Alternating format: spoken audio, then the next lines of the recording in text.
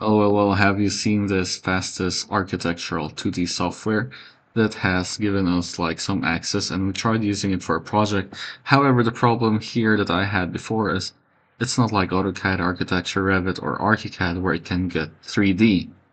But there's been a change and it's really life changing. I ported it into SketchUp and guess what? Ding!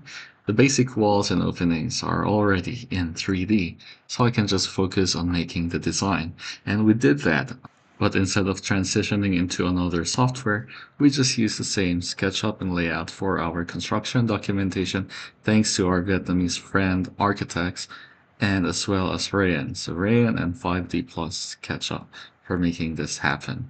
And of course, there's still Enscape or Twinmotion, whichever renderer you choose. Ching. But most importantly, the blueprint. So we do not get rid of our workflow. We hope for a collaborative, seamless transition, and it happened. Thank you. Now I can focus on annotating and working together in plan, and also making some comments for the apprentices to see and reply. Done, sir. Thank you.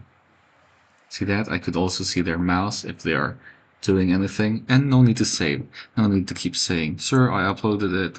Please upload, please download. Nope, because it's already in real time. Except for the SketchUp and layout part, but no problem.